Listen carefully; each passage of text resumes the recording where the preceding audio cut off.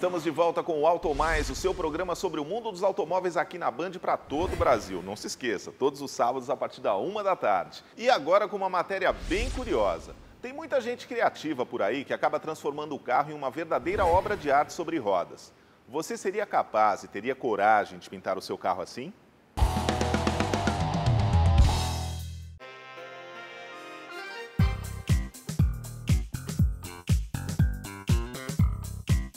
A arte de rua é muito conhecida nos grandes centros urbanos e funciona como uma manifestação da realidade vivida no dia a dia do asfalto.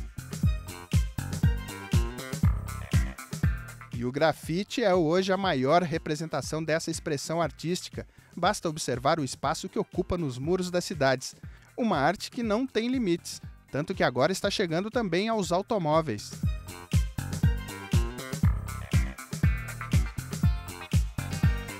O live paint, ou pintura ao ar livre, é uma modalidade de arte feita para chamar a atenção do público, claro, mas no caso destes dois jovens, eles saíram do convencional para realmente preencher a lataria dos carros com muita tinta. Então a gente falou, pô, a gente podia levar isso para algum lugar. Então surgiu na brincadeira, juntar o traço e, na, e, a gente comentou assim, pô, seria legal se a gente levasse isso para um carro, para uma coisa mais dinâmica. A gente falou, vamos brincar. O carro, como é algo diferente, como não é um painel, um quadrado, um, que você pinta e coloca na parede, é, forma uma, uma, um painel bem interessante para se trabalhar.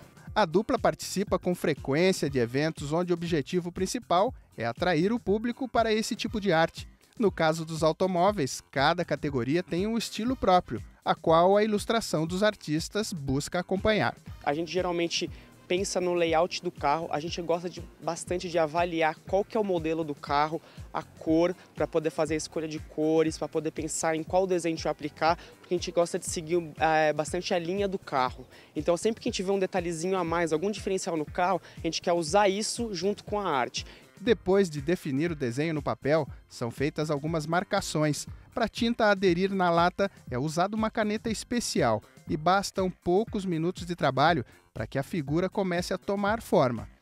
A película que faz sobre o carro é, ela é mais viscosa e consegue preencher muito, muito mais a, a o veículo e é uma caneta base d'água, então pode sair.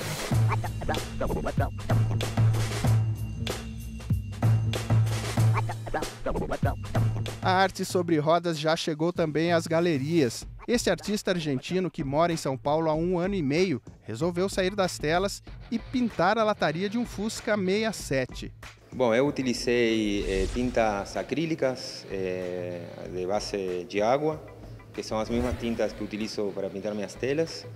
Eh, pincel de pelo de Marta, que é um pincel daqui do Brasil muito bom, que não deixa deixa tudo lisinho. E depois tem um processo de lixado, que é importante que está lixado sem água. Geralmente você lixa com água, a, é, o trabalho de funilaria normal você lixa com água. Aqui não, é a seco, com, depois a, a, o sobrante é tirado com ar, aí para que não fique nenhuma, nenhum sobrante. A pintura levou dois meses para ficar pronta, e na tela, ou melhor, no Fusca, foram usados elementos próprios do estilo do artista curioso e diferente, a verdade é que essa iniciativa nos faz pensar se o automóvel, que é tão presente em nosso dia a dia, poderá mesmo um dia ganhar tantas cores vivas e desenhos como esses, para se transformar em uma espécie de obra de arte móvel.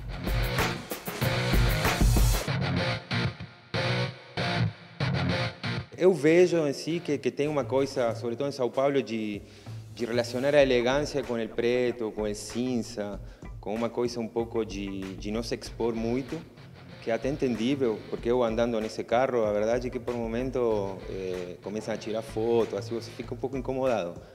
Mas eu, eu acho que sim, que poderiam ter um pouco mais de cor na rua, para mim as cores dão um pouco mais, é mais legal que aquela coisa cinza.